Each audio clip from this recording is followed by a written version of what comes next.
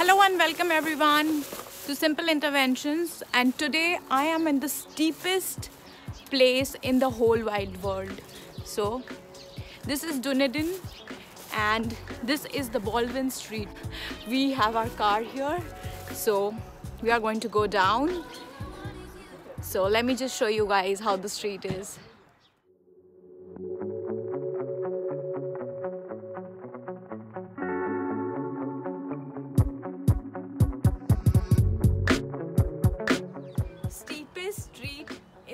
Wide world in Dunedin, and this is called the Baldwin Street.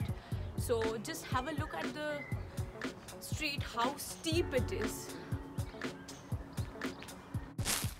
ये जो बॉल्विन street आप देख रहे हैं, ये 330 फीट है above the sea level from the top और जो ये स्लोप है फ्रॉम द टॉप इसकी हाइट है अराउंड 230 फीट सो आप देख पा रहे होंगे, कुछ लोग वहाँ से चल के आ रहे हैं नीचे की तरफ़ और ये वर्ल्ड की नंबर वन स्टीपेस्ट स्ट्रीट मानी जाती थी until July 2019 sixteen of July जब ये टाइटल चली गई और ये सेकंड हो गई। फ़र्स्ट वन जो है वो फोर्ट पेन ले इन वेल्स पे लोकेटेड है। अब हम आ गए हैं डनेडन रेलवे के सामने और जैसा कि आप देख सकते हैं, ये बहुत ही एक सुंदर सी रेलवे स्टेशन है this is the most pictured building in New Zealand and it was designed in the fashionable Edwardian style.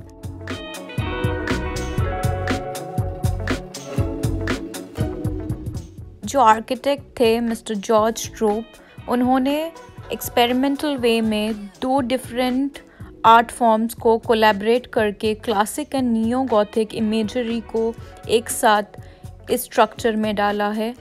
और जैसा आप मेरे सामने देख पा रहे हैं, वो जो रेड बिल्डिंग दिख रही है, वो है डनेडिन प्रिजन और ठीक उसके पास जो बड़ी वाली बिल्डिंग है गॉथिक स्टाइल आर्किटेक्चर में, वो है the law courts of Dunedin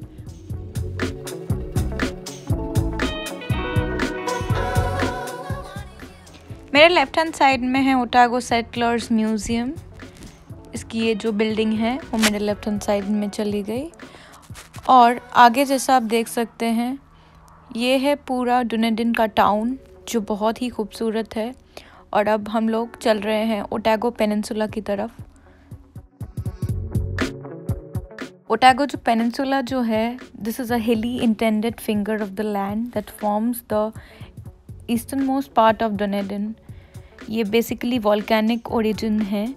And it forms one wall of the eroded valley that now forms Otago Harbor.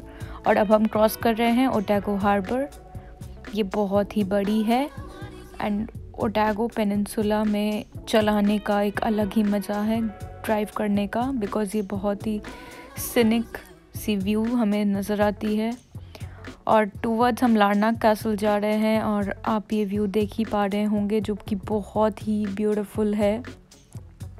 This is the Otago peninsula we have reached half way so और थोड़ा सा ऊपर चढ़ने के बाद हम पहुँच ही जाएँगे लारनाक कैसल लारनाक कैसल जो है न्यूजीलैंड में सिर्फ़ एक ही है.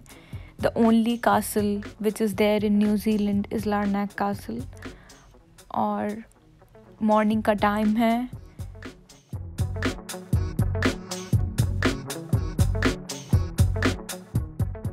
पहुँच चुके हैं the famous Larnach castle of New Zealand और ये जो कासल है this was build by mister William Larnach उनकी फ़र्स्ट वाइफ जो थी, उनके लिए उन्होंने ये ब्यूटीफुल सी कासल बिल्ड की थी। हाउएवर ये कासल कुछ टाइम पहले पूरी रूइंस बन गई थी। तब द मार्गरेट फैमिली जो है, उन्होंने 1967 में इसको ओवरटेक करके पूरी तरीके से रीबिल्ड किया, इसको जो भी रिकन्स्ट्रक्शंस चाहिए हुए थे, वो सारे किए और गार्डन वगैरह को बहुत अच्छे से मेंटेन किया। एंड अब हमारे सामने ये ब्यूटीफुल सी लारनाक कासिल अगेन खड़ी है। ये है उसकी गार्डन ये बहुत बड़ी है ये जगह। और यहाँ से जो है हमें ओटैगो पेनिनसुला का एक बहुत ही पिक्चरस्क व्यू मिलता है। Hello everyone, now we are standing in front of the Larnac castle and this castle was built by William Larnac. It was built in the early 1800 and later it was again restored by the Margaret family.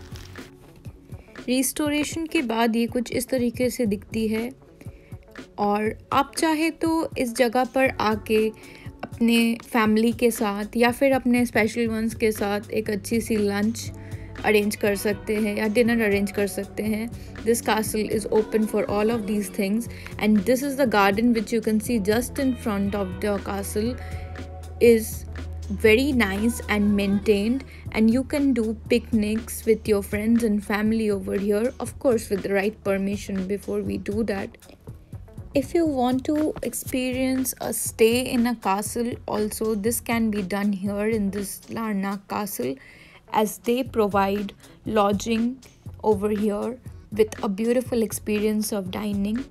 So now we have reached the first floor of the Larnac Castle and here is the gift shop. So as you can see the interiors are very beautiful as they are made with glass works and lintel works with nice stained glasses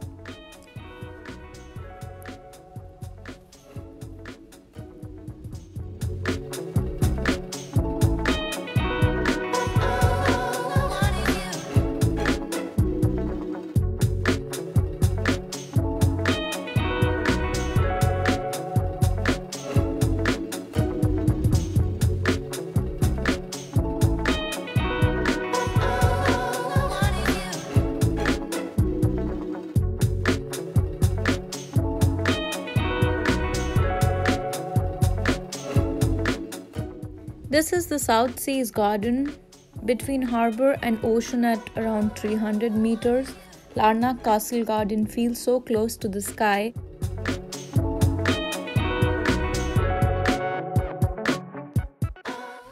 अब जो हमारे सामने view है वो है Otago peninsula की